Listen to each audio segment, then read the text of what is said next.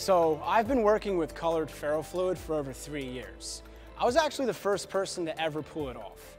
And I'm a bit of a perfectionist. Not all colored ferrofluid is created equal.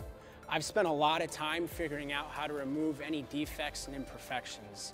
I figured out how to increase the vibrancy of the color without sacrificing the fluidity of the movement. And the end result is spectacularly beautiful. The surface of the ferrofluid becomes incredibly vibrant and even iridescent in the proper lighting.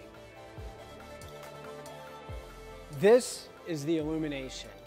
It has a light in the base that really brings out the vibrant color of the ferrofluid and a permanent magnet at the bottom that keeps the ferrofluid magnetized and spiky.